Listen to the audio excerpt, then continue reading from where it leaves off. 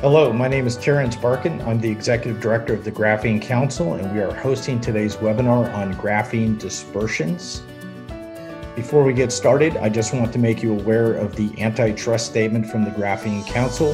We do represent the entire ecosystem and supply chain for graphene that includes suppliers, producers, and end users. There are prohibited activities which are listed here in our antitrust statement, which apply to any meeting that takes place that's hosted or affiliated with the Graphene Council. So I thank you for being aware of that and respecting those regulations.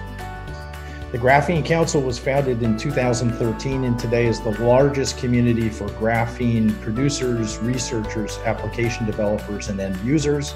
And we are pleased to host today's webinar and have you join us as part of our delivery of education.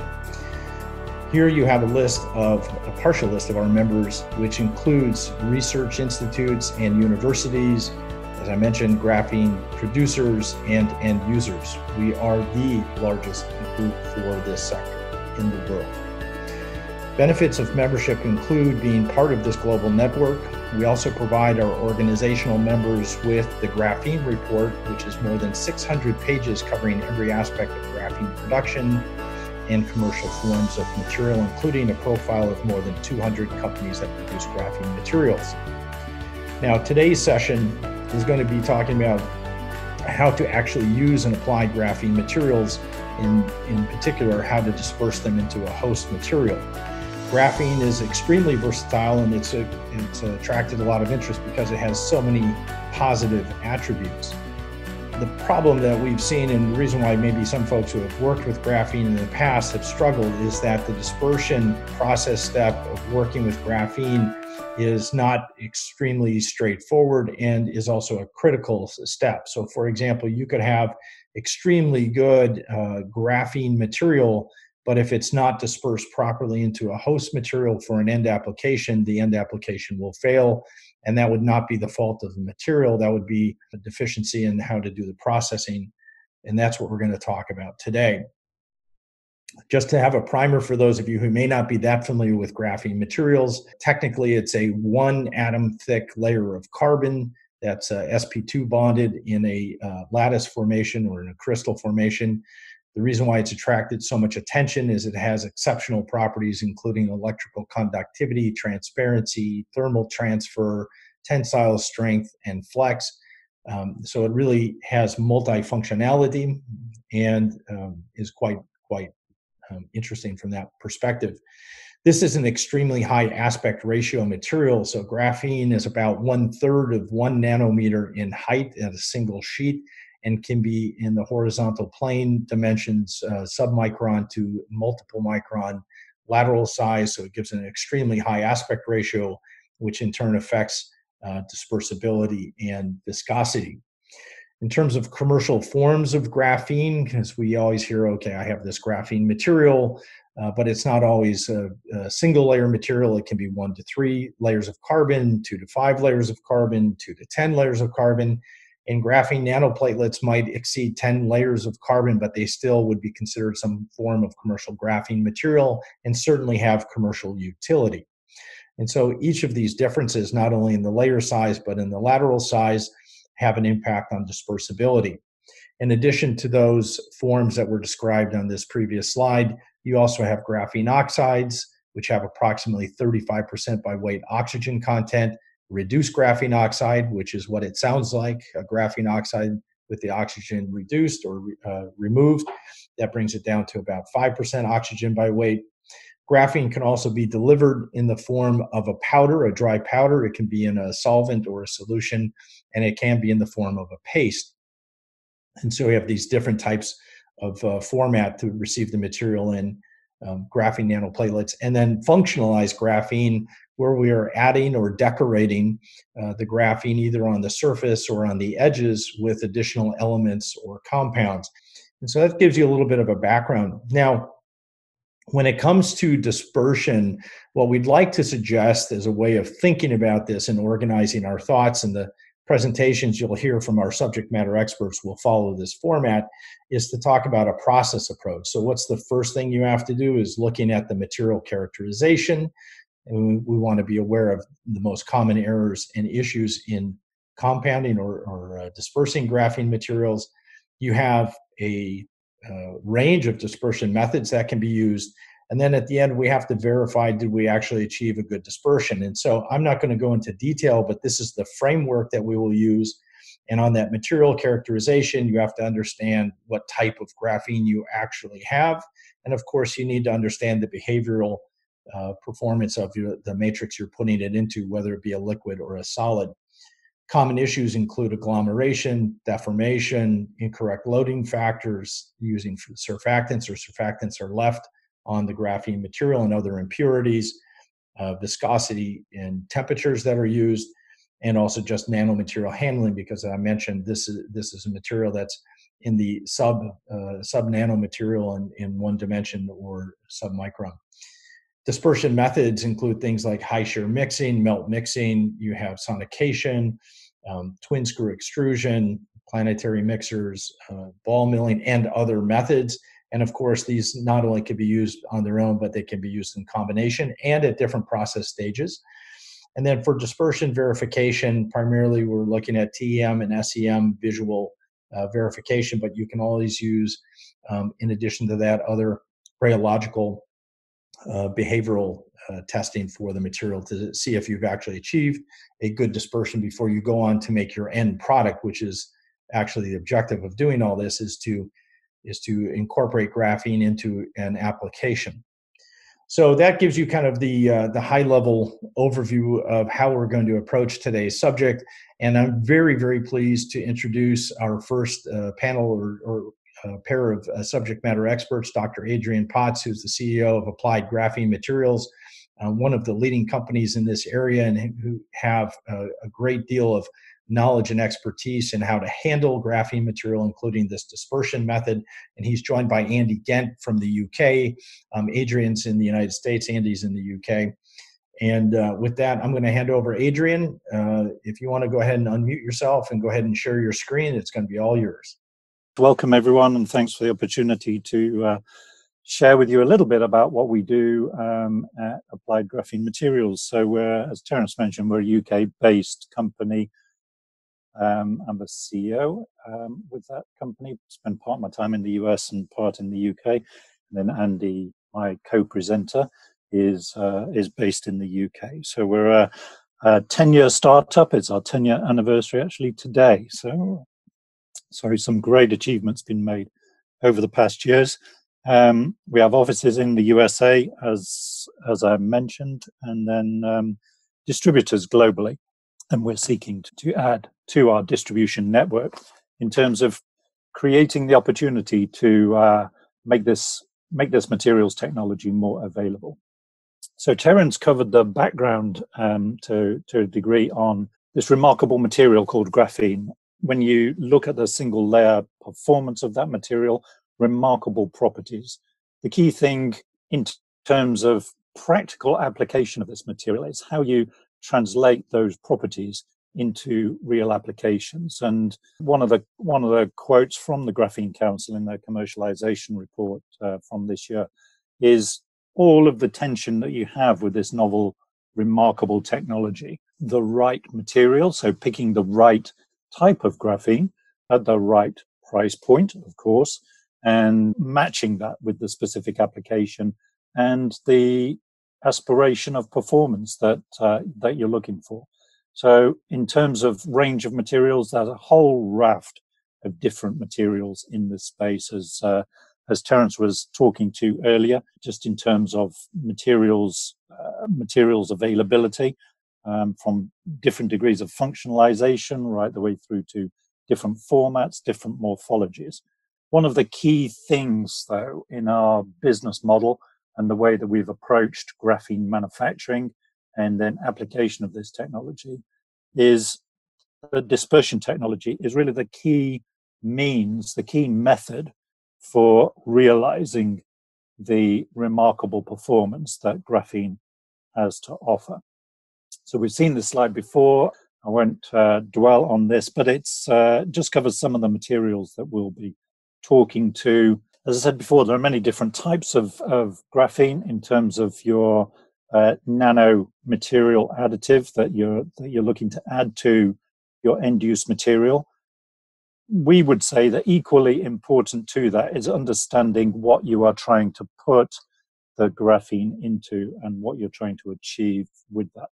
So, in other words, to make graphene work, if you can if you can add graphene to the end use application correctly, then you can make remarkable use of that material to great advantage in the end use application. So the keys uh, for us and where we've done a huge amount of development work over the over the years is about application technology and a clear understanding not just of the of the graphene material that you're trying to incorporate, but also the end use um, that the material is going into. What does that involve? It's not rocket science really, but a deep engagement with the end customer. The more information that we that we receive from our customers in terms of unpacking what they're trying to achieve, the better and the, the greater likelihood of success in terms of understanding objectives and, and needs. And whether that's the application of a standard dispersion that we have on offer off the shelf, or whether it's a customized solution that is end use specific. That is typical of, of what we do and how we do it. Clearly, we we need to back that um, that engagement up with what we call how-to data. So how-to it enables the easy use of this uh, amazing material in the end user's application. So we have um, available on our website a whole load of um, technical application notes and data in terms of supporting what we're what we're doing in our chosen field supporting that how to knowledge in terms of practical applications on how to assist you, the customer, in terms of uh, incorporating this material in a meaningful and constructive way to achieve the great end result that you're looking for. We see ourselves also as um, part of the group that are very much involved in regulatory leadership on the use of nanomaterials and particularly graphene, um, particularly with regard to REACH regulations in Europe our particular chosen fields for us as a company um, are, are really looking at un- unlocking the use of graphene in four key areas, really. So, coatings, technology, so uh, paints and coatings, and utilizing the remarkable impermeability of graphene to, to work as a barrier material. Of composites, um, looking at the addition of graphene to things like carbon fiber composites to further enhance um, mechanical performance and, and other attributes, uh, printable materials, and then thermal adhesives. So utilizing the thermal conductivity of this material in dispersed format to enhance end use performance. And that's just a few out of the, the vast array of opportunities that, that, uh, that graphene presents. So, in terms of the, the particulars of what we manufacture, we're a manufacturer of graphene materials, two core types, and then we have a number of other products in the range as well. But um, just to touch on, in terms of the difference between just two different types of graphene. So, on the left hand side here, you see very platy material. Um, we actually classify this as a reduced graphene oxide composed of nanoplatelet plates. Um, relatively thick, around 15 to 20 atomic layers. And, uh, um, you know, it's, it's, a, it's a kind of good general purpose material for use in a range of applications, whether that's composite materials or, or coatings technology. And typical loading levels that we would dis- deploy this material in the end use application would be at around a quarter to around 1%. So we have to think through how we will deliver that that type of doping into the end use application. And that's what this presentation is all about. And on the right hand side of this, a, a, a, very different type of material um, named AGNP 35, uh, low oxygen content, high carbon content, morphology wise, very, very different. So, a, thin, crumpled sheets, um, around five atomic layers thick, very, very low density, very high surface area. And in particular, we have used this material to great effect through our dispersion technology into the world of anti corrosion coatings. Very low loadings um, that we use in those applications. So typically 0.025% up to about 0.1% in a paint uh, formulation. Key attribute with, uh, with this material is its impermeability and adding to the tortuosity through a coating compared to other materials that are typically used in a coating application. So um, it's a super efficient material. And at very low loading level, we see a huge increase in the surface area compared to materials that are conventionally used. So just some of the flow really through this thought process for decision making on, on graphene. So first of all, why graphene? What could graphene do for me in terms of utilizing those uh, performance attributes. Um, even in the graphene nanoplatelet form, the material still has remarkable performance. Huge surface area advantage, as we mentioned in the last slide, for example, um, over other fillers. The aspect ratio advantage, the conductivity, the mechanical performance, thermal conductivity, and so on. Um, the right form of graphene, what am I hoping to achieve in the end application that I'm looking to add graphene to. Um, the key characteristics that I'm looking to to uh, improve the performance with. So, what are my target properties through the integration of, of graphene? And then we get onto the key question of how how am I going to integrate this material into my end manufactured product? Uh, what's the format of what I'm trying to achieve, and how do I add performance to that? So, what's the what's the material that I'm looking to add to? Is it a thermoplastic or liquid resin system and thermoset, elastomers, oils, uh, a foam structure, or composite material? And really, the key question is how could I best introduce graphene into this format? And conversely, how what are the best things that I can do to avoid failure? Further things to do with graphene. Am I okay using a nano powder at all? There are a number of um, production environments where um, nanomaterials are frowned on. And uh, we'll talk to a little more about that in one of the later slides. If, if we're using a dispersion, what would be the best option to deliver the graphene into the target material?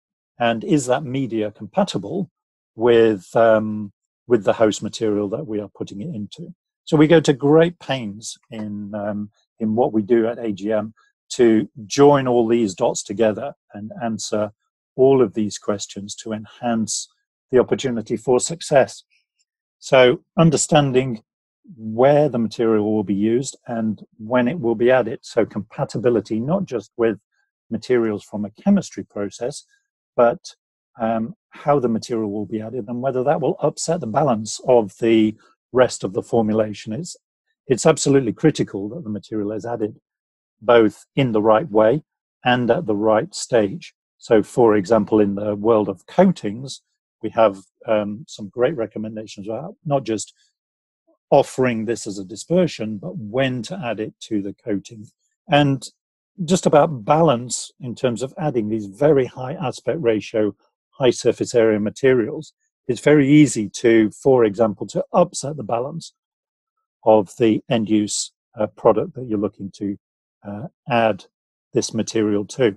So, coming back to our experience in coatings, for example, we look at things like pigment volume concentration and the balance between solids and liquid resin and the ability of that resin to wet out all of the material that is in there. You start introducing high surface area materials into that equation, and it's easy to push that uh, that coating formulation over the edge and actually introduce porosity into the system. So we have to be very careful about how we balance uh, what we offer with the end use application. So thinking through objectives in terms of our dispersion, loading level, um, some of the variables that we have in place. So loading level is a key area to control. And when you think about some of the very low loadings that I talked about earlier in the end use application, we want to we want to match that with the ability of the formulator to have maximum flexibility in what they're doing. So, what we aspire to is balancing that between what we put into the dispersion versus what is going to end up in the end use application.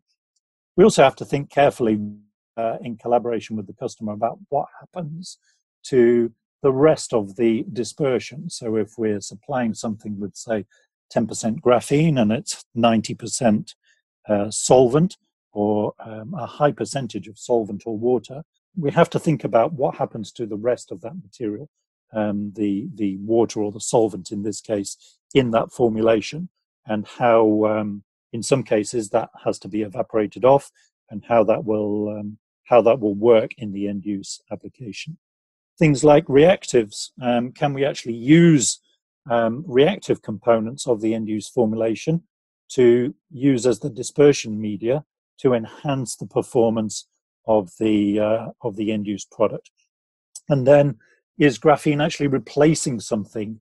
So are we using the dispersion to create the opportunity to replace other things in the end customer's application?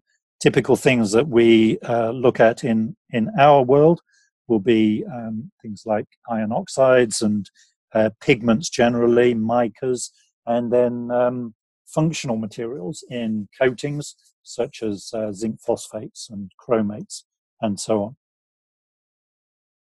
So a little more about dispersions and uh, what do we actually want out of that? Clearly we need stability. We want the dispersion to be the same as received by the end customer as it is three, six, maybe 12 months down the line. Scalability of dispersion. It's easy to achieve great results of, of uh, with materials technology in the lab. Uh, we want to know and be confident that we can actually scale that process into larger volume. Other variables that clearly have a huge influence on the end use application viscosity of that dispersion, particle size, um, settling and agglomeration, and can I actually uh, recover that? And the whole question of how will the material be used. So, what do we want in the end customer's formulation? What are we aiming for? Clearly, the the utilization of graphene in terms of uh, great utility, great functionality, is to achieve a separated array of graphene nanoplatelets as individual platelets in the end use formulation. And those graphene platelets can then do the job intended, whether that's mechanical performance, thermal, electrical, and so on. Um, we want a great separation of those graphene platelets in the in the end formulation, and that is what we're all about in the dispersion technology that we offer. Conversely, what are the things that we're trying to avoid? Um, clearly, agglomeration, where the platelets actually uh, end up sticking together. We end up with, just in simple terms, a, uh, a, a, filler rather than a high utility product in the in the end formulation. Uh, sedimentation and whether that's recoverable, or even crash out due to incompatibility of the dispersion in the end application. Just to touch on a few of those points, so dispersion stability. Key questions is the dispersion stable? And um, you know does it sediment out? And what's the quality of that sedimentation? Um, can be recovered? And how? And we have some um, excellent guidance um, in our application notes on on how to do that. And what are the implications for the end customer in terms of um, how to practically use this material? So typical at the bottom of this slide is what we see um, for just grabbing some data for some of our products. In this case, a dispersion of uh, AGNP10, this very platy material, in a liquid epoxy, 12 month shelf life. And you can see at the bottom right in this slide, uh, very good stability from a particle size um, standpoint in terms of uh, terms of stability of the dispersion. And the left hand side, the uh, upper um, the upper, upper graphic just describes what we aspire to in terms of stability of products. So a uniform dispersion with, with life, um, whether this is tested at three months, six months, or 12 months, we want to see uniformity of, uh, of that, uh, that dispersion with life. And we do a huge amount of testing in this regard. A bad result would be at the bottom left of this slide, where we see um, clear initially pooling of, uh, in this case, a solvent, um, a solvent dispersion, and the graphene ending up at the bottom of the bottle. Clearly, we don't want that, and we we do a lot of work in terms of achieving stable and uniform dispersions. Uh, viscosity. So viscosity of the dispersion. It, clearly, the one of the key questions is whether that's fit for end use purpose. So considerations that come into play here: particle size of platelets, surface area of platelets, and if you recall back to the earlier slide, huge differences in terms of morphology of material, the way that wets out and the way that the surface area interacts um, in the dispersion. The chemistry on the platelets, uh, Terence talked to that in terms of oxygen content, for example, and that has a unique effect on dispersibility and that in, in, in turn an effect on viscosity as well. Um, loading levels clearly again have a uh, critical effect on viscosity and you know a, a knock-on effect on form, formulating flexibility. So again, just joining all those together, what's the end user's process? How do we engage with the end user's process to understand um, what are the constraints and what are the limitations on um, on how to use this material effectively. Um, we have guidelines. Typically, in coatings, we recommend adding uh, graphene dispersions at the letdown stage of the manufacture process after all of the grinding of the fillers, just as a practical example of how to use this material effectively. So how does particle size distribution, um, looking at particle size for a moment, impact the end-use applications? What are the clearly considerations in terms of aspect ratio and actual physical particle size and how this fits with the end-use application? So to pick the example of composite materials, um, when we look at things like fiber diameter, for example, versus the size of graphene particles versus the volume fraction that we are going to be applying both of the carbon fiber in, in the case of a carbon fiber composite and the volume fraction of graphene that we're going to be adding and how all that interacts together in terms of what we are looking to achieve. The example in coatings, um, aspect ratio is a is a huge issue for barrier performance, but other aspects as well, such as conductivity and mechanical performance and the flexibility of paints. Um, we can see a nice example in the middle left of uh, of this chart, just in terms of the ability to dial in uh, particle size, um, and we can do that through the range of processing methods that we employ in manufacture of dispersions. So starting with the, the base material, um, which has a fairly broad, the blue line, a fairly broad um, spectrum in terms of particle size from a little over a micron up to 100 microns, and then able to dial that in very effectively through process technology using a range of process methods. Where does this all end up? Clearly, we have uh, dispersion products that we that we offer to the market, and our principal product offering is in two forms really: standard dispersion, so balancing the graphene type, the loading level, the particle size, the viscosity, the stability. Uh, we have a range of standard dispersions in a range of different epoxies, solvents, water, and so on, and then um, custom dispersions as well, and master batches to suit the end use application. Uh, Terence talked about some of the common issues related to dispersion technology, and there are clear things to be at least cognizant of in terms of understanding how you're going to deploy these materials in practical applications. Agglomeration is a key one to be avoided, and you know that in and of itself is challenging to undo in the dispersion, let alone in the finished formulation, and we would have to do a lot of work with that dispersion to undo agglomeration. Um, deformation, so being aware of the grind of the material and particularly avoiding grinding the material too far. Uh, particle size and aspect ratio are important features in the utilization of these uh, nanoplatelets in the end use application. loading level clearly has a huge influence on um, cause and effect in the end application. Use of other materials, so surfactants and so on, clearly there's a great opportunity to do that, to produce a custom dispersion to suit, but we want to carefully select those and ensure compatibility with the end application.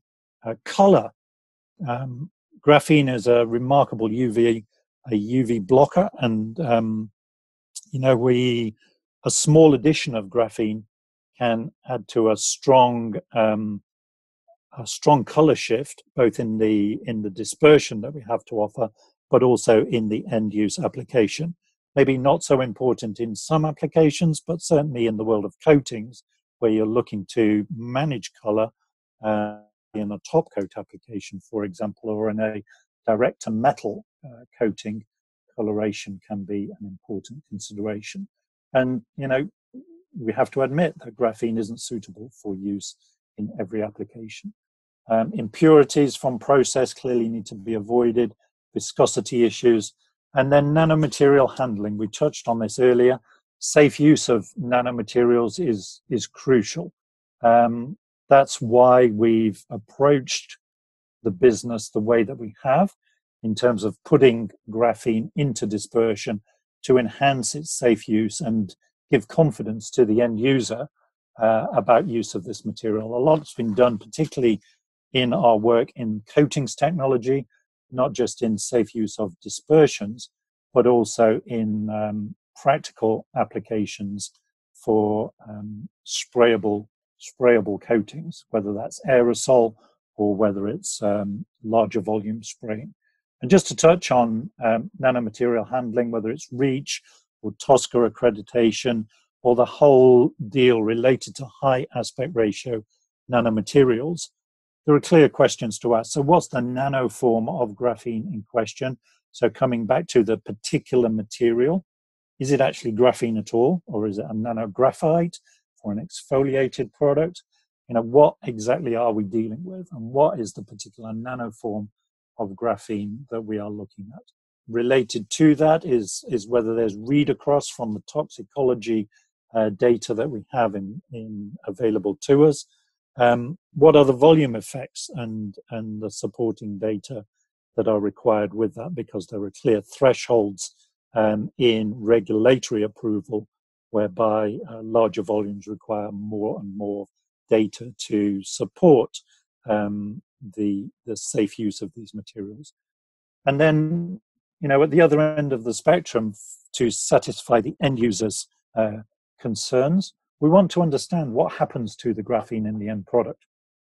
Um, and clearly, our focus with that is on safe use of graphene in the workplace. And we see that as a major milestone to and being crucial to adoption of this technology. We've done a huge amount of work in this area, looking, as I mentioned before, sprayable coatings and proving to ourselves and proving to the community that uh, graphene stays put in sprayable coatings and, and doesn't become uh, free material in those types of applications. So, just looking at methodology briefly, um, we can do, as Terence mentioned earlier, all manner of different methods and use of those in, in combination um, to manage the things that we've talked about viscosity, particle size, just as a brief example on linked effects from processing, um, just very briefly, just looking at uh, viscosity effects. So this is with very high surface area material on the left-hand side. Viscosity needs to be managed, as we talked to before, in terms of loading level. And um, the bars on this chart are around um, sheet resistivity, surface resistivity, or conductivity. And with with loading level, um, we can see a nice reduction in, uh, in resistivity with loading level. Managing particle size in the middle of this chart, so for a given particle size, um, we can see the effect of loading level, in this case on conductivity or resistivity. And then for particle size impact, um, in terms of multiple milling, um, where we're looking at process technology, and looking at the number of milling cycles that we would um, that we would run with this material. Clearly, larger platelets have a good effect for conductivity and um, and managing resistivity. Lastly, and just my bit before I hand over to Andy, just for a brief um, wrap up of our section. Um, so, dispersion verification, and this is so important, not just looking at um, what we have in the dispersion, but for quality control for volume manufacturing. Uh, clearly, suffices to say we can um, manage this process well with a whole raft of different methodologies to um, to understand the quality aspects of dispersion. We utilize uh, TEM and SEM. Um, clearly, those are great tools to look at powders, um, viscometry, UV analysis, mechanicals, electrical testing, thermal analysis are key things that we do routinely on dispersions and end use applications to prove out the quality and the consistency of these dispersed materials. With that, I'm briefly going to hand over to Andy, um, who can spend hopefully a couple of minutes just talking to the uh, the outcomes of all of this. Yeah, thanks, Adrian. I hope I hope everybody can hear me.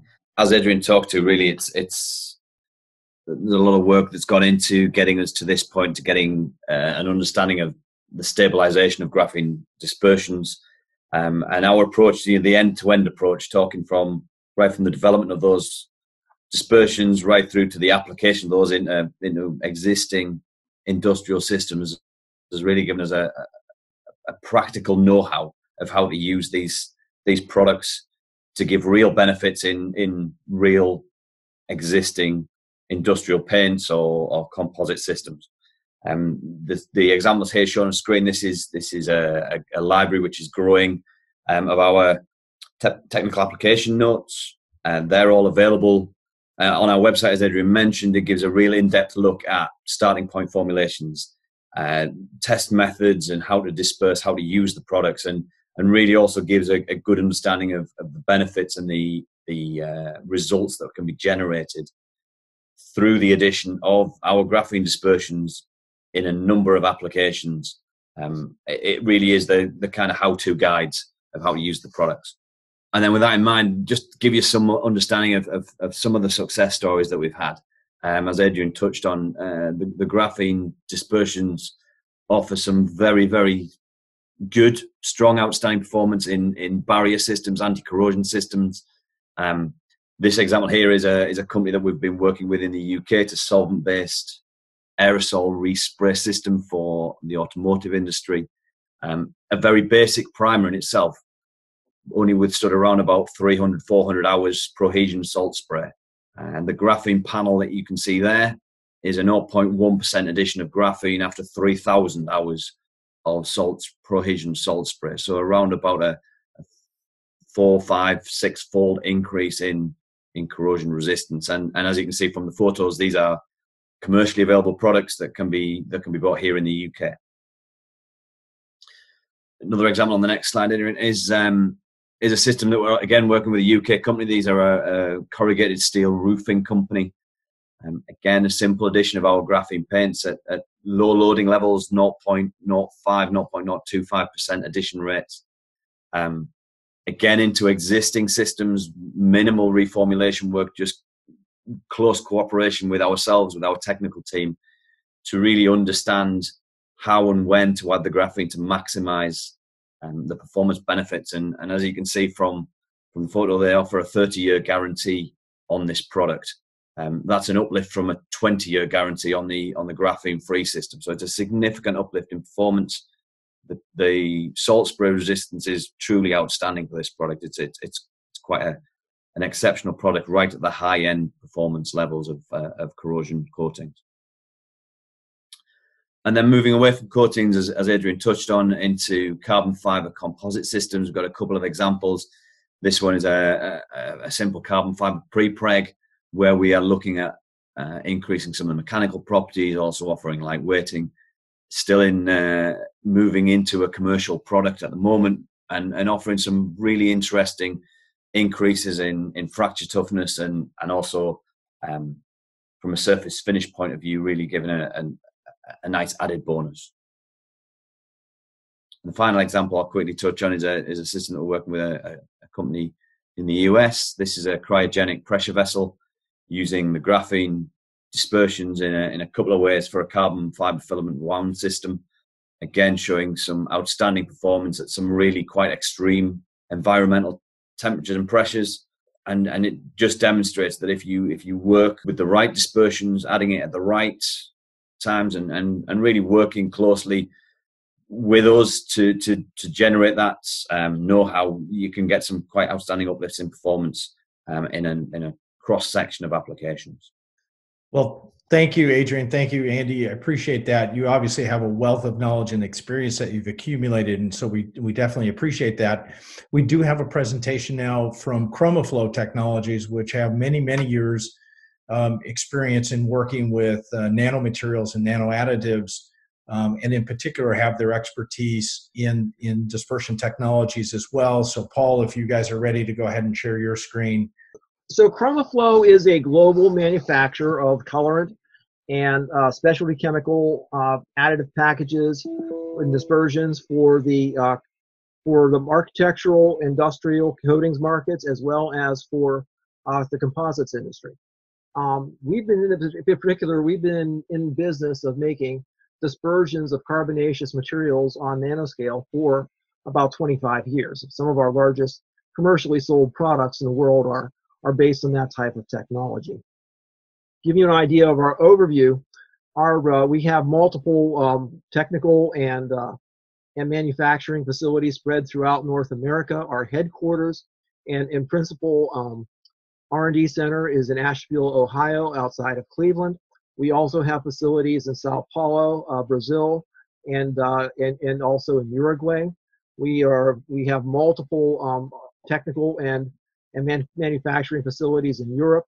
Also, we are in South Africa. We have a significant a facility in in India, uh, a brand new facility that we just built in in Kuala Lumpur, Malaysia. We also have a facility in Shanghai, China, and also Dandenong, Australia. So we're literally prepared to cover and support um, our customers in pretty much all every continent of the world. Um, some of the cases where we are we are involved with, we do work with architectural point of sales, architectural implant, um, c- coloring. We work with our industrial maintenance, concrete, um, automotive interiors, and refinish. We are both in the composites and the coating sides of the transportations and the constructions industry. You'll see here some pictures of some um, some automobiles. You'll see some pictures of marine applications. We, we're involved in marine coatings, and we are also involved in uh, in composite materials, and construction industry, such as the, composite ladders that you see in the upper right-hand corner. So, in getting to graphene, there are two major approaches in, in industry to make manufacturing graphene and and each of them has significant implications in terms of what you get when you get there so to speak. Uh, the top to bottom approach involves starting with graphite and peeling down a number of layers until you get eventually to a graphene sheet. On the other hand the other side of it there are people that are taking uh, basically starting with carbon atoms uh, most typically and most commonly by not, but not necessarily by carbon vapor deposition and then depositing uh, the carbon into layers of, onto a substrate such as copper sheeting, and then removing the layers. And and the latter and which particular approach you get, each of them is developed is is divided into a significant number of sub steps and sub processes and, and, and variants and processes that are made and a number of different types of materials that you can get from it can, can affect not only their cost but also your purity and the properties of the graphene that you're going to get. So when we talk about graphene, it's not a homologous material. There's a lot of different materials that fall under the general category of graphene. And so we need to be aware of that when we begin to set up, talk about how we make dispersions for it and talk about how we achieve the properties that we're trying to get.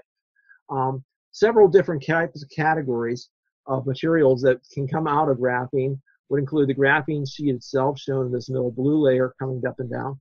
But another thing that can happen is you can also have the sheets roll into tubes that we would then call carbon nanotubes.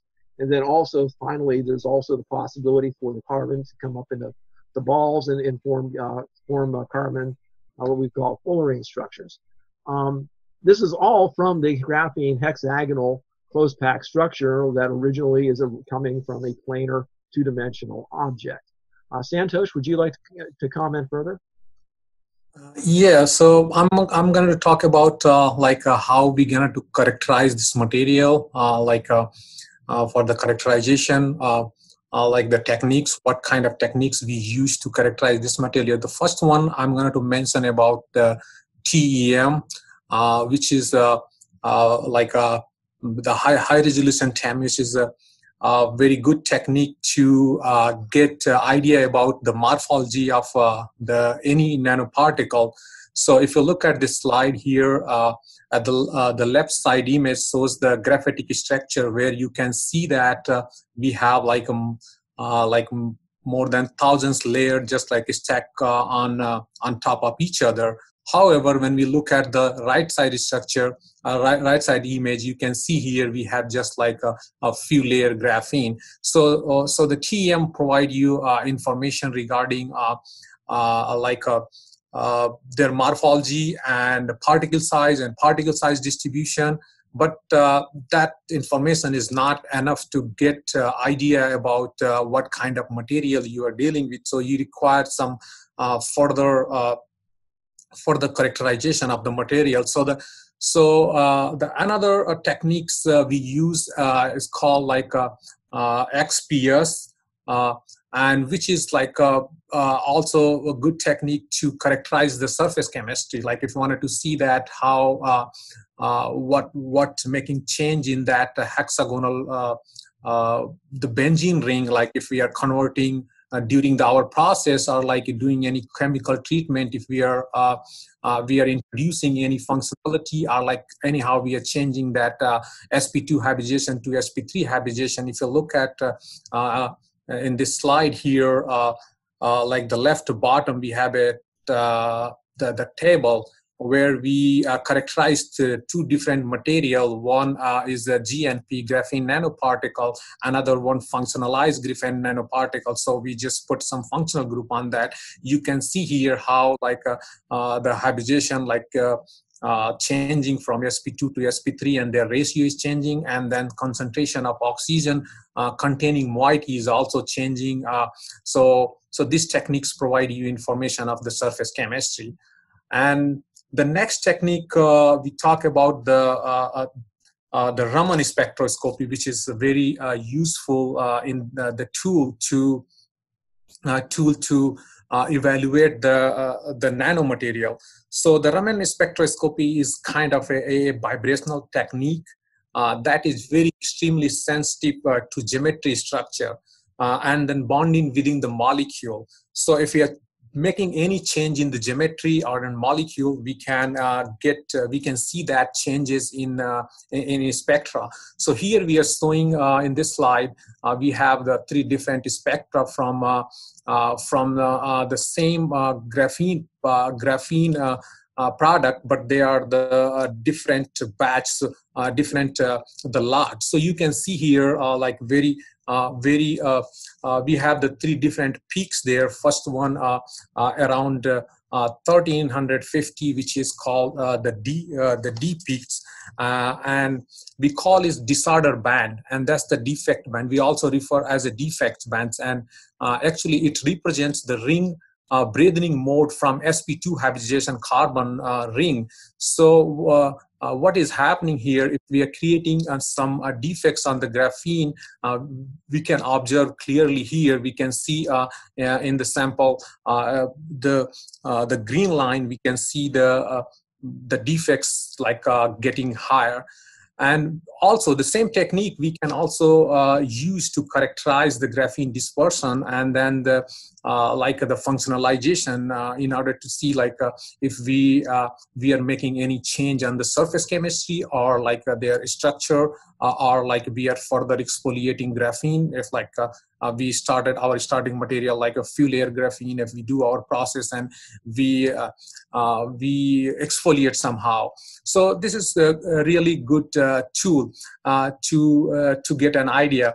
And other other peak is here like the 2d peak. We call the 2d peak which is like a 1700 1700 the peak here uh, which provides like this peak have like a different kind of shape. By that shape, you can uh, actually uh, get uh, uh, like a, we can evaluate like if we have a single layer graphene or we are dealing like a multi-layer or like uh, the double layer so that that that information provide and that information is really uh, helpful uh, to determine either your like you know the graphene quality as well as your graphene dispersion so now I'm going to talk about uh, uh, the challenges. What kind of challenges do you have to obtaining a stable, uh, uh, like a stable graphene dispersion? The first of all, I'm going to start with the quality of graphene.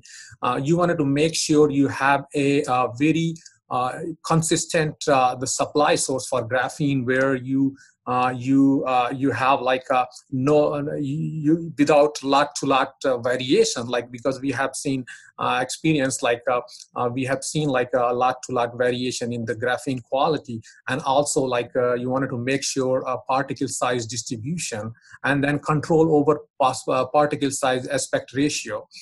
And the second second challenge like of we wanted to uh, if we wanted to use uh, the graphene for a particular application or particular resin system so you have you wanted to compatibilize that resin that graphene with the resin system.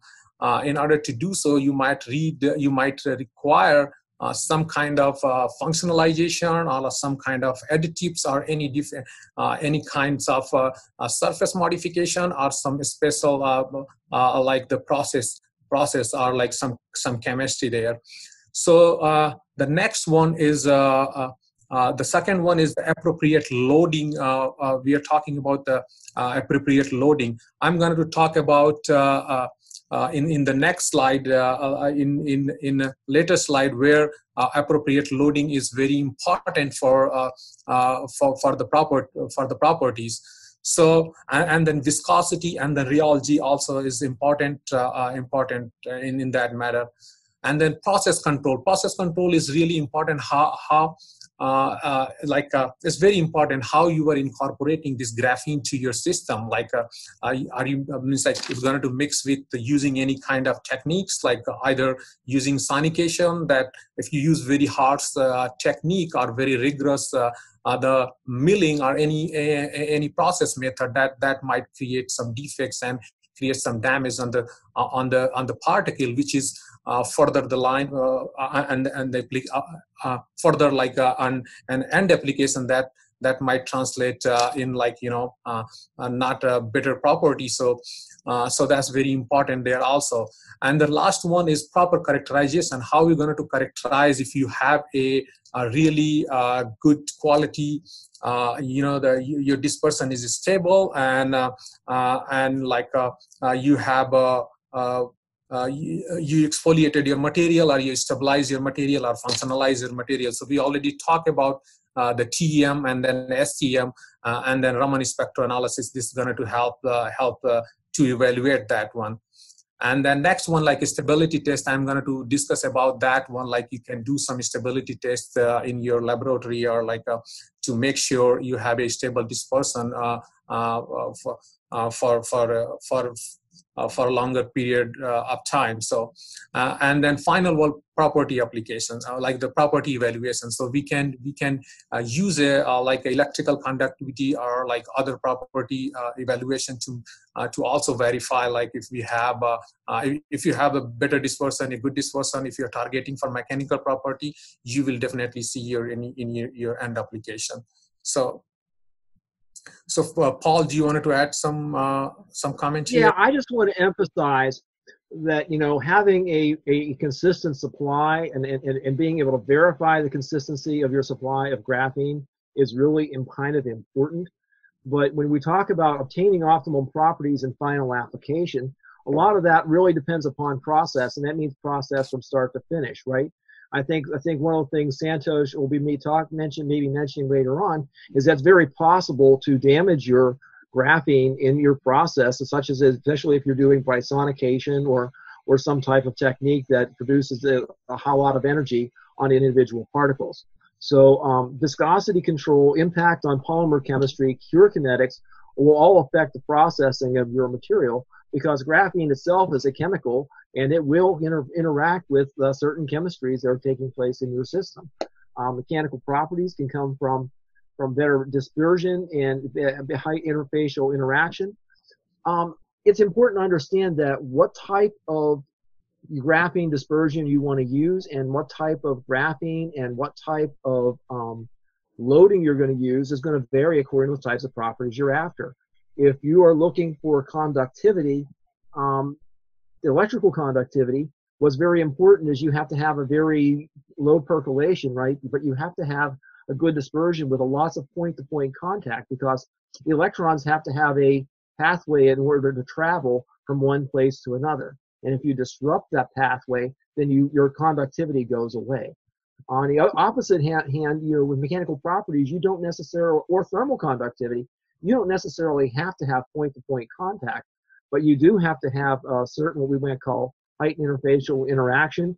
You need to have load transfer capability in between particles so that your the the the force in in, in the in, the in, is that the distribution of energy is maintained between the polymer matrix and also and, and, and the graphene particles that are dispersed within it. And I'm not going to have to take time right now to get into photon scattering, but the basic principle remains that you have to have an effective dispersion uh, that's uniform and, and, and, and, and complete throughout your matrix if you want to achieve properties such as thermal conductivity.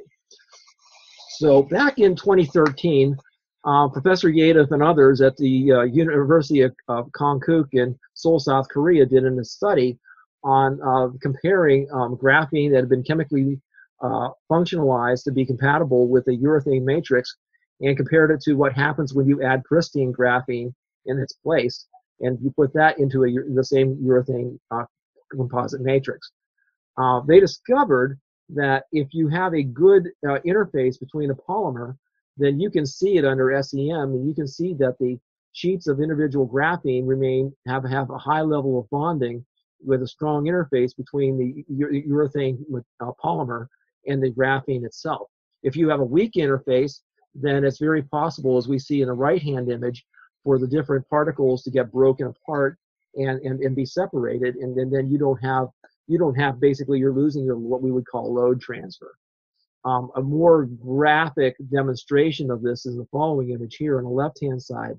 Um, the functionalized optimized graphene dispersion in the matrix remains embedded upon breakage into the polymer matrix, whereas in the um, in a material that has not been optimized, where the graphene is not properly incorporated or functionalized for the matrix, the uh, the, the polymer simply breaks away from the uh, from the graphene platelets, and you don't necessarily get the benefit of the, pra- the of the platelets in terms of contrib- you know, making a meaningful contribution to your strength. So on that note, one of the ways we can determine uh, or, or, or, verify the properties of our dispersion is, is, is through simple application testing, right? And one of the things we would do is electrical, uh, for, especially for electrical applications, we have three major methods of measuring electrical resistivity methods. One is a one-dimensional point-to-point and linear ohms per uh, centimeter. Then we have a two-dimensional, which is ohms per square. And then we have a three-dimensional method that's in ohms per cubic centimeter. And it's important to understand that as we increase the surface area of contact and number of dimensions in our measurements, we increase the sensitivity and reproducibility of our tests, as well as the number of pathways available for free electrons.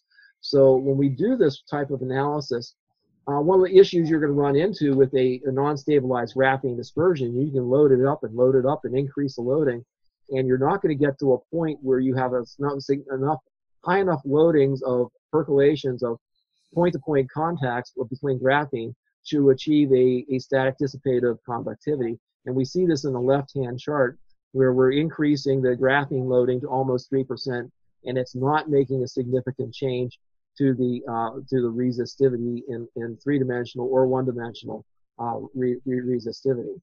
By contrast, if we have a stabilized graphene dispersion that's compatibilized with a polyester graphene matrix here, then what will happen is point somewhere between one and one and a half percent, where the uh, graphene will begin to, res- to percolate, and you'll begin to achieve point-to-point contact, and thereby you will begin to achieve the electrical conductivity that you're trying to achieve especially in this particular case, you're going to get to a, a static dissipative level of conductivity very quickly in the, in the one and a half to two percent reloading range. Um, Santosh, do you want to comment on the stability testing? So yeah, this is the simple stability test. Like when you can see the difference between uh, we have the two while here at the at the right side. uh, you can see that if you stabilize the uh, your graphene or like uh, uh, you disperse them well, uh, they're going to stay for a longer time in any like a solvent or like any monomer or polymer. they're going to stay for a longer time, so they allow you to have like you can process like if your your process involved for longer time, or you can store uh, this uh, uh, these sample for longer time also, and and use them for for for your application. So next, I'm going to talk about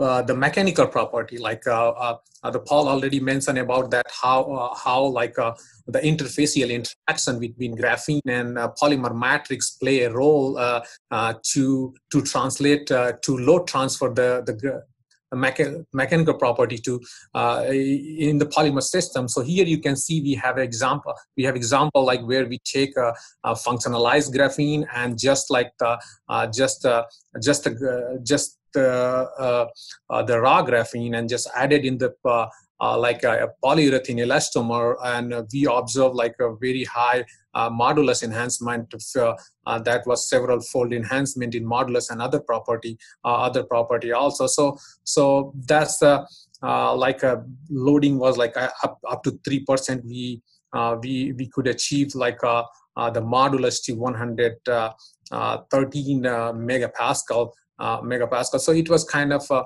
uh, when you have like a better uh, dispersion as well as a, a, good interfacial interaction between gra uh, graphene and and your host matrix uh, then uh, it, it, it, will have like a better uh, load transfer and next slide i'm talking about like here giving an example of the, the this like a stabilized dispersion in a, in, in, in a pultrusion system where a polyester we took a polyester and then added uh, the the, the graphene like uh, uh, at the different loading. Earlier i was talking about like how important is to determine like optimize your loading. So you can see this uh, uh the the left side image uh, that is the storage modulus uh, room temperature storage modulus val value of polymer composite uh, and what we observe here when we incorporated the graphene, like, you know, starting from uh, uh, 0.01% to all the way 3%, uh, and we observe that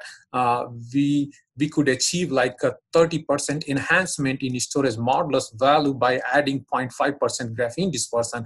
However, uh, beyond that, uh, like when we add 1% or 3% graphene, we saw like detrimental impact on the on, on, on the uh, on the storage modulus value. So we know uh, we need to find this, uh, and that's kind of sweet spot where you can get the maximum, uh, you know, the load transfer and and kind of you have a you have a the balance between uh, filler and uh, and polymer uh, polymer polymer uh, matrix. Uh, and here like uh, the right side of image here we are showing very interestingly when we added even to one percent is not not impacting the cross-link density of of the polymer composite so for we we we don't see any uh, any a, a, any change in in uh, in TG. There was like few degree up and down, but here we see when we add like one percent graphene, we even see further boost in the TG.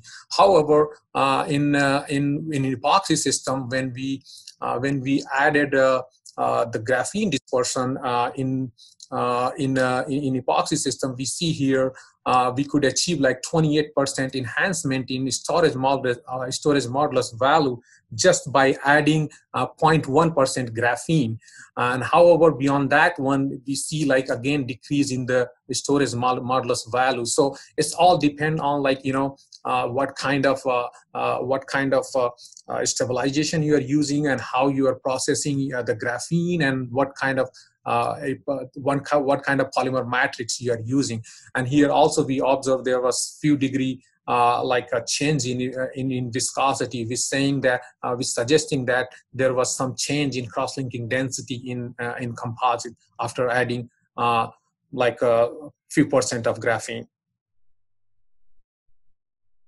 So so here, uh, uh, this is just uh, just like we are giving quick the view here. We have we have uh, several uh, graphene uh, dispersion where uh, like we have developed several graphene dispersion like they are very high highly loaded like uh, we have like 28% to 36% uh, graphene loading in the different different the carrier like polyol DOPT and some the polyester resin polyester resin system so so and you can see here we have like a uh, the wide range variety of viscosity and Thix index. Uh, index. This is just an example, and we do also uh, some uh, uh, like customize uh, like a resin, customize the product where we we take the customer resin and then disperse you know the load the graphene, make the master batch and and provide them for their the end application, end application.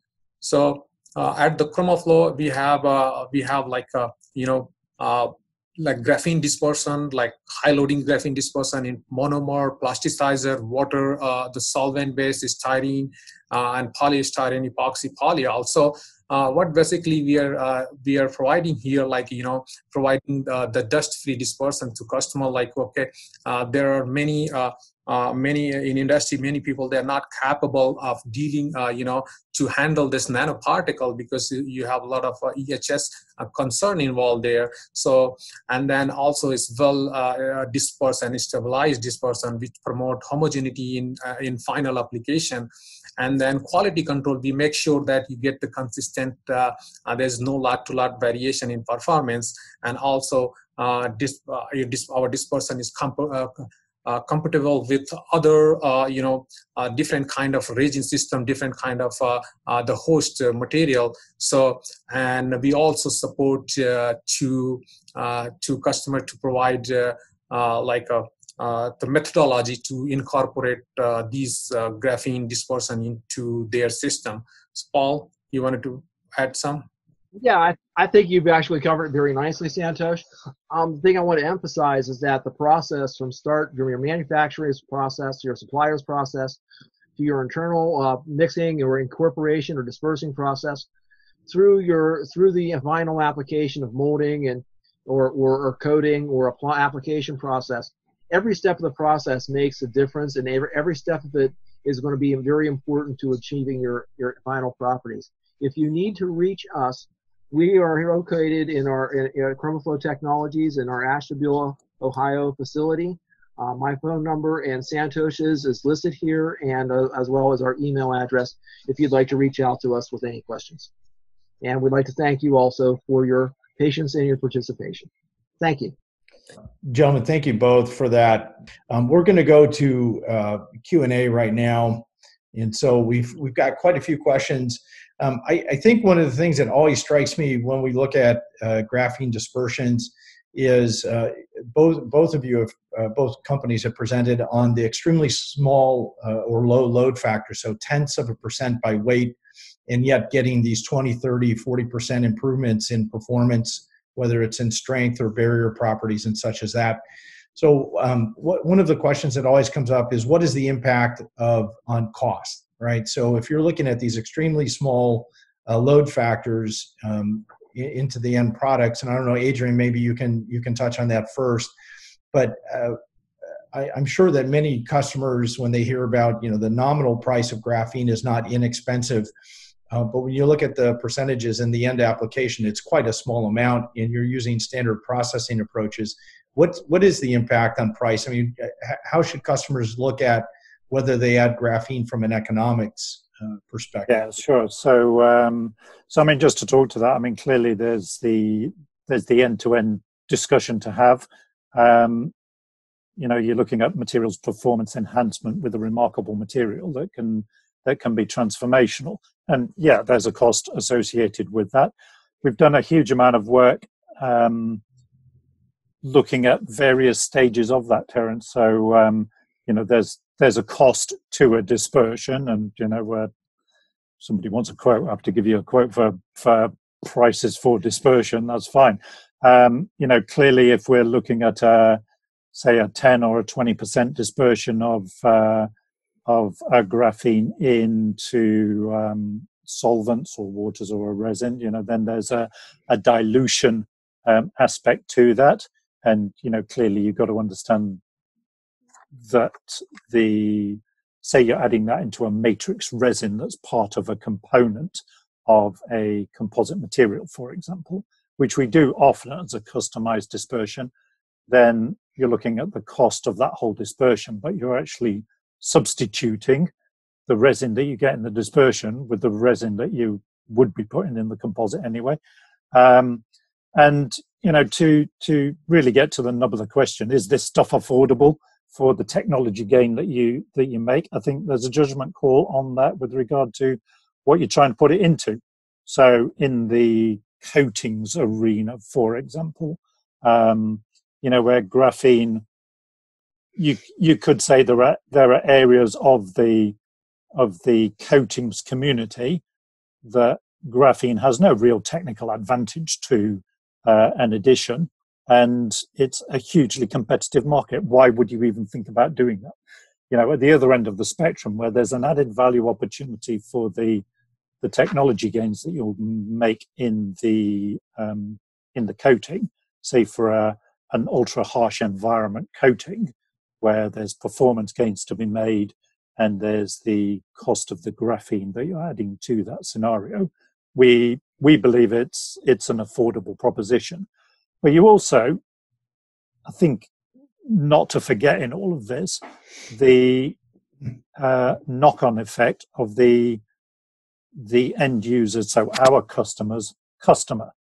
Right. So if you look at, for example, an infrastructure project and a coating on a bridge, you know, is that bridge going to, or the coating on that bridge going to last longer to reduce the maintenance cycle that the asset owner has to um, has to undergo?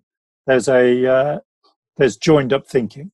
So I mean, yes, I mean there, there's a price point to anybody's graphene in this community, um, we believe that we can make an affordable value proposition for that.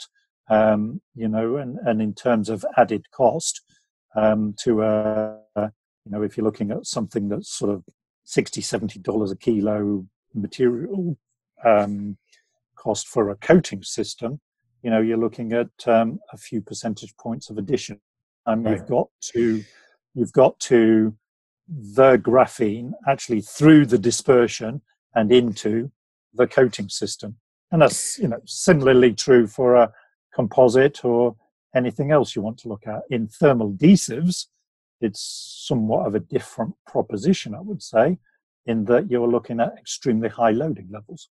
So it's well, Adrian, you know the examples that you gave in your presentation. If you look at the salt test on the on the paint coating plus the roofing product, right? The roofing product had a 20 year lifetime guarantee from that supplier until they used your material. Now they've increased that to 30 years, so that really gives them a competitive advantage in the market. And if yeah. we look at some of the marine coatings, so there's there's companies like yours and others that are using graphene for marine coatings. Um, it, it's not just that you know the, the added corrosion protection gets translated into a ship going into dry dock less frequently, which has a huge economic impact. So I think if you look at the total cost of ownership, or if we look now in composites, um, you know, life cycle, you know, the complete life cycle of the materials, how long do they last, their their utility, when do they become redundant, when does it get, you know, when does it need to be replaced? If you can extend the life cycles, um, there's some, you know, um, ecological uh, improvements to be made there. So, yeah. Paul, Paul, let me ask you, um, you know, a similar question. I don't know from the economics because you're dealing with end customers all the time, doing their custom custom formulation. So obviously, it's always a, yep. a question of price versus utility. Um, ha, what, what's been your experience in looking at materials like graphene and added from an economics point of view? Well, first of all, graphene is not a homologous material. There's a wide ranges of quality and cost structures out there in the market. Um, some are very. Sometimes it makes sense to go ahead. For example, if you're going to improve your properties by 30% and reduce the weight of your part by potentially 30%, and the thickness of your part to achieve similar or better mechanical properties, sometimes it makes sense to use a more. It's more cost effective to use the more expensive graphene than to use a more cost effective graphene. So it really depends upon your application. Similarly, in a coatings application, uh, you really want to have a very fine layer of graphene across the surface of your coating, and you want it to be located at the surface where you're going to get the benefits, right? So you don't necessarily want a real high loading, So again, going with with quality and cost, I, th- I think you're going to get a better bang for the buck. And then again, you also have to impact consider in as has already been mentioned the uh, the impact upon shelf life or and and and, and usage usage life of the material. If you're extending the usage life of the material by an extended period of time, reducing the increasing the reducing the amount of money someone's going to spend on recoding and repainting a part in the field, that is huge. Right. Absolutely. And, and so I think you really have to assess the whole cost of the whole process and the whole product when you're trying to say, oh, is it going to work for us to use graphene? Maybe I should just use something cheaper. Well, maybe something cheaper isn't going to do the same job. Right. Or it's. Um, another question, you know, we are looking at commercial application and commercial scale of these products. So one of the questions is, you know, how sensitive is this process um, to do the dispersions? Does it need to be uh, done under ideal lab conditions, or obviously in in uh, in production processes, they're not always, um, let's say, ideal conditions. So, how sensitive is this dispersion process, and how do you address some of those variabilities that you get in the real world, where you know the product might sit in a warehouse, you've got temperature variations, you might not have the best uh, environment in which to to do the dispersion. Can you can you speak to that? Maybe Paul, do you want to start with that one, or, or Santosh? Yeah, I'll go. I'll get ahead and start get started on it.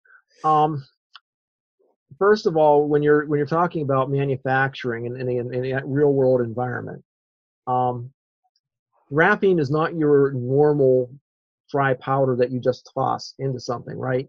There's EHS considerations, there's worker safety considerations, there's a lot that has to go into controlling your, your environment your process for making it. And, and secondly, you also have to, without getting into the EHS side of it, you also have to be concerned about the technical uh, quality side of what is the impact of your process to the particle. And we, we spent some time talk, showing some examples where um, you, you have improperly dis- dispersed graphene and you don't achieve the end properties you're after, then you spend a lot of money uh, on, on a fairly high cost product and to, to, to come up empty. So you don't really want to get into that scenario. It's much better to have a well-designed process that's, that gives you a robust, it's, it's, it's inherently robust and gives you a robust product that will stand up to a wide variety of conditions. Now, in terms of like putting in a warehouse and storing it, if you achieve a, good stable dispersion, hopefully you, you, you do the stability testing, you know, at 40 and 60 Celsius or some such to uh, verify that you achieve, you know, that your material is going to be stable for an extended period of time under a variety of conditions. Excellent. So that, that's that's kind of the answer I have to that one. And Adrian, Adrian you want to add to that? Yeah, um, clearly it's it, keep coming back. It's all about end-to-end thinking, and um, you know, being being aware. We put a huge amount of effort in engaging with the end customer. You know, not just about um, what we do in the lab, but how they are going to use this material. So, um, you know, whether it's going into a coating, a composite, uh, whatever it is. And we've got a range of, of customers, you know, where their, their process conditions on their actual shop dictate that they have to add this dispersion at a certain point. And so, you know, the part of the process is uh, helping helping the customer to understand um, and to to further customize our product in some cases to actually enable them to integrate this material in in what they commonly do. But, you know, if you've got to introduce a lot of change to introduce a new material, you've got a question: Are you actually going to do that? Um, so, you know, we in in terms of our, our approach, we want to be as aligned as we can be with our customer in terms of how they're going to utilize this product. And and to your other to your other side of their question about what we do. So you know we do a huge amount of work in terms of all of the as we were talking about before the salt spray testing, the this and that and the other. You know, six months, nine months, a year's worth of work of uh, of proving that graphene works in a range of applications. Um, and we do that in our R&D labs. Clearly, there's a scaling aspect to that, and we, you know, we equally put in the the effort to make sure that what we have scaled in terms of getting to high volume uh, scaled manufacturing is representative of all the lab work that we did in the first place. Otherwise, right. you know, if you if you if you process it the age old adage, I suppose, make a change, expect to change. And, Yeah. you know, if you change your process, are you going to um, still end up with those same aspects of materials, such as particle size and, um, you know, viscosity profile and so on Yeah. and so on Yeah. and so on. There's one last question I like to take before we kind of close off here today, and, and there are a ton of questions we're just not going to get to. But one is about you know, is there some kind of like guide or uh, uh, rule of thumb about you know which graphene is best for which type of application for which uh, type of attribute that we want? And I and I think I know the answer to this. Um, and of course, you guys do know the answer to this. Is that there's so many different types of graphene. The detailed morphology is so different that I don't think we're yet at the stage where there's a common body of knowledge that's kind of like a, a, a dictionary or a directory of okay if you want to get this outcome then this is the type of material you use. Um, but uh, by the same token we don't want to give the impression to everybody that this is some black art and that only a few people know the secrets to the kingdom. There's some pretty straightforward approaches to this.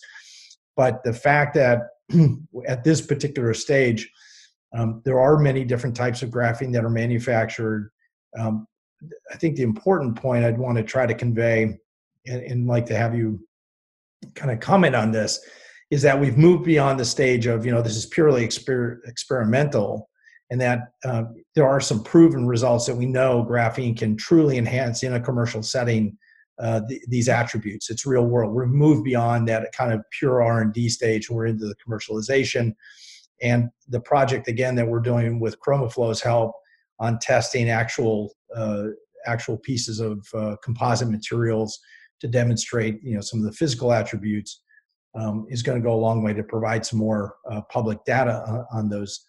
Um, but you, you you've obviously these two companies and the reason why we've chosen these companies to help do this presentation today these companies have obviously accumulated a huge body of experience and knowledge in how to do these dispersions um, it, I'm not sure really um, where the, where the question lies at this point, but um, would you like to make just a, a couple of uh, maybe closing remarks on um, on um, on this particular topic about dispersion, why it's so important? And and my last um, comment on this would be, you know, I I would encourage customers that want to use this material to engage closely with companies like Applied Graphene Materials and like Chromaflo, who have the experience and can assist you in avoiding a long and tortuous and expensive self-discovery uh, period to get through this. This is um, they've gone through working with you know hundreds of iterations of these materials and all different host materials to to figure out what actually works, and that is their um, you know their their expertise and their IP. So Adrian you, and, and, Andy, you guys want to make some closing comments on what we've discussed well, today? I'll let Andy comment on it a bit further, perhaps. But uh, all I, all I'll say is, um, yeah, ten years in the making, as I as I touched on at the at the start of our presentation. You know, we've been doing this for a good while, just in terms of uh, uh, looking at the initially the the sort of twinkle in our founding professor's eye about an alternate way of making graphene through to process scale up for that material but the last few years have been completely focused on dispersion technology and the how to and how to actually join the dots in simple terms about taking this remarkable material, whether it's our material or whether it's anybody else's material. I fundamentally believe that the keys to that are in being able to put it into the right stuff for it to end up in the customer's um, formulation, whatever that might be. Andy, you want to talk any? Yeah, no, I, I, mean, I mean, for me, it, uh, you, you touched the right point. I mean, graphene as a product is a fantastic product, but as soon as you put it into something, a lot of those properties are are, are lost in a lot of cases and certainly diminished. If you get your dispersion right, you get your application method right, then you can benefit from a lot of those properties. And you know, like I say, we've done a lot of work on this. The guys at Chromaflo have done a lot of work on it, so it, it's almost why reinvent the wheel? You know, come and talk to us. You know, we're, we're very open in terms of those communications and those conversations. We can we can have that and and, and optimize your system so that you can get graphene into it, the right graphene at the right loading levels, at the right costs, to make sure that you get a benefit. Yeah, I would like to just add there, like, uh, you know, it's just not the the graphene quality matters. It's a matter how you incorporate, how you process, and what what is the loading. So all like hold the process. They are just not. It's just not the magic material. You take it and put it anywhere, and you're going to get your uh, the final property. So everything matters. Yeah. There's one more point I want to add to this. There's a slide that Santosh showed everybody that that I think really hits the nail right on the head. If you get the uh, graphene dispersed and you put it into a matrix, you can sometimes see a night and day difference when it's properly dispersed, when it's not, simply on how it behaves within the matrix. If it doesn't behave within the matrix properly, you're going to see like a thin cloud of flocculation. We get down to uh, the particle size that we're talking about here. Say we we spend a lot of time talking about particles that are that are in a neighborhood of five to ten um, carbon atom uh, layers in, in, in the surface, you know, with breadth. And uh, so we're talking about something that you know we're, we're, we're getting we're almost leaving classical physics, moving into quantum mechanics, and forces like van der Waal that are normally not all that strong a force start to become really predominant. So so under, recognizing that and not treating a graphene uh, particle or graphene product like a like a standard say carbon black is is really kind of fundamental and very important. So I'm just, I'm just going to leave it on that particular thought. From the Graphene Council perspective, I really appreciate everybody sharing. I want to uh, just leave everyone with this slide. If you look at this, this is one of the reasons why graphene is so exciting is it can be used in all these different application areas for many different um, outcomes, whether it's electrical conductivity, thermal conductivity, increasing strength, etc.